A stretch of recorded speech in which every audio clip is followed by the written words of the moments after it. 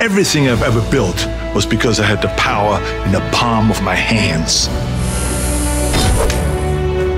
A plan is only as great as the tools you use to execute it. What? I'm sorry, what? You got this.